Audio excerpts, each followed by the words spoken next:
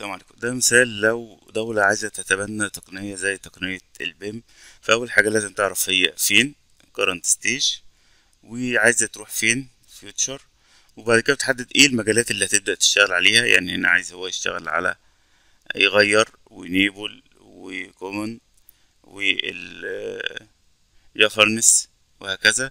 وكل واحدة من دول إيه الخطوات اللي هي بتشتغل عليهم واحدة واحدة بحيث إن هو بعد فترة معينة محددة بعد خمس سنين آه، ست سنين وهكذا يكون هو وصل للخطة بتاعته. فبتبقى متحددة النقاط مثلا نحدد ال scope مثلا هنطور الرؤية بتاعتنا هنعمل هنعمل هنعمل وهكذا لحد ما يوصل لل future stage بحيث إن كل سنة يبقى عنده نقطة معينة هيشتغل عليها السنة اللي بعديها نقطة معينة في آخر السنة بيبدأ يشوف إيه اللي اتحقق وايه اللي متحققش واللي متحققش متحققش ليه وهكذا.